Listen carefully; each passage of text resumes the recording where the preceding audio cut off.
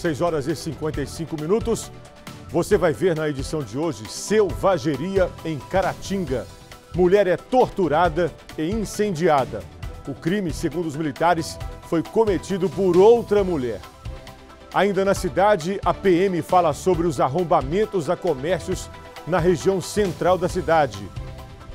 Em Paba, no Vale do Aço, Polícia Militar prende homem suspeito de envolvimento na execução de uma mulher e de tentativa de homicídio do namorado dela. Em Governador Valadares, no fim de semana, foi realizado evento sobre a importância de combater os crimes contra as mulheres. Essas e outras notícias você acompanha a partir de agora no MG Record, pela TV aberta e no facebook.com barra TV Leste.